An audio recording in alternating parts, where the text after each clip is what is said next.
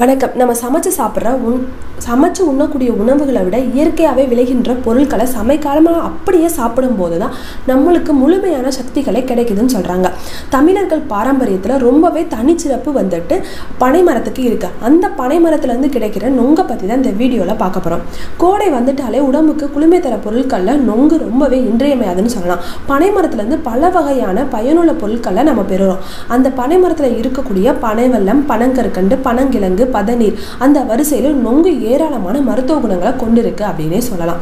நம்ம நொங்குனை சாப்பிடும்போது மேலே இருக்கிற தோலை நீக்கிட்டு அதை உள்ளே இருக்கிற சதப்பகுதியை மட்டும் சாப்பிடும் ஆனால் உண்மையாகவே தோல் பகுதி துவப்பு சுவையோட இருந்தாலும் அதில் தான் அதிகப்படியான சத்துக்கள் இருக்கும். என்னென்ன சத்துக்கள்னு பார்த்தீங்கன்னா calcium phosphorus vitamin vitamin B C போன்ற சத்துக்கள் எல்லாமே அதில் அதிகமாக அடங்கியிருக்கு.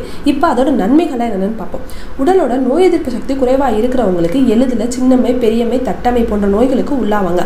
கோடையில் வாட்டி வதக்கம் அம்ம நோய் வராமல் தடுக்கிறதுக்கு நொங்கு பயன்படுதுன்னு சொல்கிறாங்க கோடையில் உடலில் எவ்வளவு நீர் இருந்தாலும் நீர் பற்றாக்குறை ஏற்படும். ஐஸ் வாட்டர் செயற்கை குளிப்பானங்கள் இந்த மாதிரி இதெல்லாம் நம்ம சாப்பிட்டோம்னா அது தொண்டைக்கு இதமளிக்கும் அவ்வளோதான் தவிர நம்மளுடைய ஆரோக்கியத்துக்கு அது ரொம்பவே கெடுமை செய்யும். அதே இது இதை தாண்டி எவ்வளவு தண்ணி குடித்தாலும் நம்மளுக்கு தாகம் அடங்கலை அப்படின்றவங்க இந்த நொங்கு சாப்பிட்டாங்கன்னா அவங்களோட தாகம் எல்லாம் அப்படியே தணிஞ்சு போயிடும்னு சொல்லலாம். காலையில் வெறும் வயிற்றுல வெது வெதுப்பான நீரை குடித்த பிறகு ரெண்டு அல்லது மூன்று நொங்கிகளை சாப்பிட்டு வந்தாங்கன்னா அவங்களுக்கு மலச்சிக்கலை காணாமல் போகுமா? குடலோட இயக்கத்தை சீராக செயல்பட வைக்கிறதுக்கு இந்த நொங்கு உதவுது. கருவிட்டு இருக்கும் பெண்களும் கர்ப்ப காலத்தில் போது கோடை காலத்தில் வந்துட்டு தவிர்க்காமல் நொங்கு சேர்த்துக்கணும். இவதனால அவங்களோட செரிமா செரிமான பிரச்சனையெல்லாம் நீங்கும். வாந்தி குமட்டல் இந்த உணர்வுமே ஏற்படாது அது மட்டும் இல்லாமல் மார்பக புற்றுநோய் வராமல் தடுக்கும்.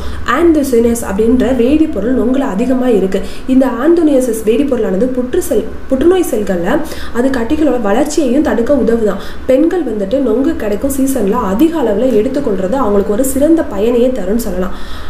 நான் தினந்தோறும் சாப்பிட்ற உணவுகள் அருந்தும் பல வகையான பானங்களில் இருக்கும் நச்சுகள் வந்துட்டு நம்ம கல்லீரலில் தங்கிவிடுது. நொங்கு ஒரு சிறந்த நச்சு முறிப்பான்னு சொல்கிறாங்க நொங்கு அடிக்கடி சாப்பிட்றவங்களுக்கு கல்லீரை தேங்கி இருக்கிற நச்சுக்கள் எல்லாமே போகுமா? அது மட்டும் இல்லாமல் கல்லீரலும் பலம் பெறுமா? கல்லீரை ஏற்படுற புண்களையும் ஆற்றுன்னு சொல்கிறாங்க அளவுக்கு அதிகமாக உடல் எடை இருக்கிறவங்க உடல் எடையை குறைக்க பல வகையான இயற்கை உணவுகளை சாப்பிட்றது அவசியம். உடல் எடையை குறைத்து உடலை கட்டுக்கோப்பாக வைக்கிறதுக்கு நொங்கு சிறப்பாகவே செயல்படுதுன்னு சொல்லலாம். இதில் இருக்கிற சத்துக்கள் உடலில் அதீத பசி உணர்வை கட்டுப்படுத்தி நீர் சுரப்பியை அதிகப்படுத்தி உடல் எடை குறைப்பதில் பேருதவி செய்யுது நொங்குல இருக்கிற சரியான கனிம சத்துக்களும் ஊட்டச்சத்துக்களும் உடலோட குளுக்கோஸ் அளவை சீர் சீராக வைக்கிறதுக்கு உதவுது இது மூலமாக நம்மளுடைய உடலும் சுறுசுறுப்பாக இருக்கும். நம்மளும் ரொம்ப ஆக்டிவாக எந்த வேலையுமே செய்யலாம்.